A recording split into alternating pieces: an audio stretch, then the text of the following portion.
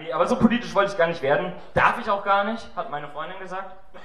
Ja, aber manchmal, du kennst das vielleicht, manchmal muss ein Mann tun, was ein Mann tun muss. Ne?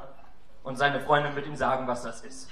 Ja, und sie sagt, sie sagt, mach was Positives, damit die Leute sich wohlfühlen und etwas gegen Unzufriedenheit haben. Ne? Ja, okay, das ist einfach. Was ist gut gegen Unzufriedenheit? Ein schöner Job. Deswegen habe ich beim Film gearbeitet. Das war klasse, weil ich Film sowieso geil finde. Und das, was ich an Gehalt zu wenig bekommen habe, konnte ich durch mangelnde Freizeit gleich wieder wettmachen. Ja, wann willst du das Geld auch ausgeben in so einer 170-Stunden-Woche, ne? Einzelhändler hassen ihn für diesen Trick. Apropos Einzelhandel, als ich in der Schule war, habe ich im Edeka gejobbt. Und das war klasse. Da standen bei mir immer die ganzen Omis an. Ne? Drei Kassen offen, an zwei nichts los, der ganze Laden leer, bei mir 30 Omis. Und dann meinte einer auch mal so zu mir, ah, man merkt, Sie machen das nicht hauptberuflich. Sie lächeln immer so schön. ja, fand ich auch lustig. Meine Kolleginnen nicht. Aber auch mir sollte das Lachen mal vergehen. Ne?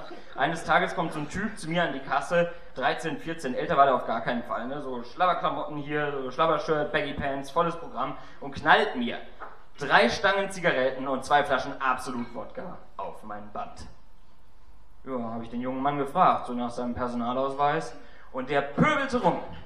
Sowas habt ihr noch nicht erlebt. Was Personalausweis? Ich feier deine Mutter!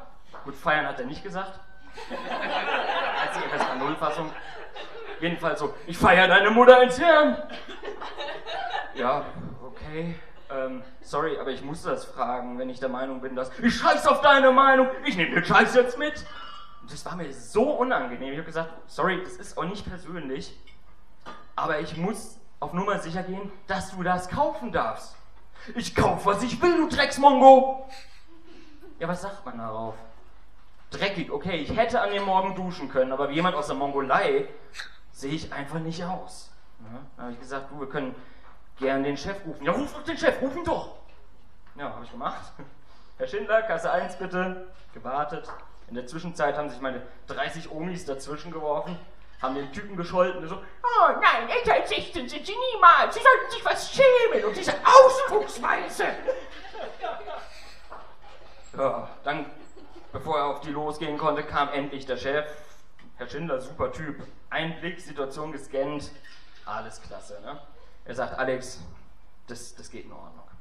Okay, ich, den Pöbeljungen und meine 30 Omis nach Hause geschickt, bin zu ihm ins Büro und habe gesagt, Herr Schindler, wie soll ich damit umgehen, wenn so ein 14-jähriger Pöbeljunge mir wegen Zigaretten und Alkohol die halbe Kasse abreißt? Da sagt er zu mir, Alex, dieser 14-jährige Pöbeljunge war eine 35 Jahre alte Frau. Ja, das war unerwartet.